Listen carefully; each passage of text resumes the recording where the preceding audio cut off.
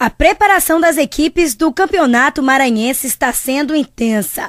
E para o time do Cavalo de Aço não tem sido diferente. E nos treinos dos últimos dias, o time está trabalhando a parte física.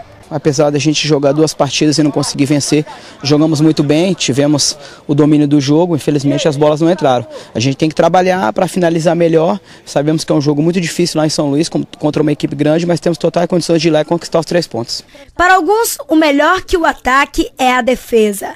E no time do Cavalo de Aço, o responsável por tentar evitar o momento mais bonito do futebol é Jean, que veio do time do Sampaio. Nós vimos aí fazendo um trabalho muito bom, professor Raul, professor Celinho, fazendo um trabalho excelente aí. Se Deus quiser, lá dia 22 contra o Moto São Luís, fazer um bom jogo, uma boa partida e se Deus quiser sair com a vitória. E se tem uma boa defesa, um bom ataque também é essencial.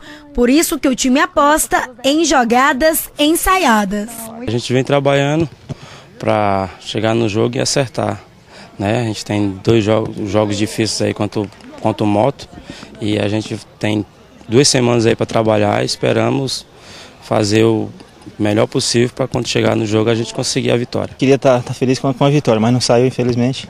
Mas agora trabalhar essa semana e a outra para que no, no, jogo contra o Moto a gente venha sair com resultado positivo.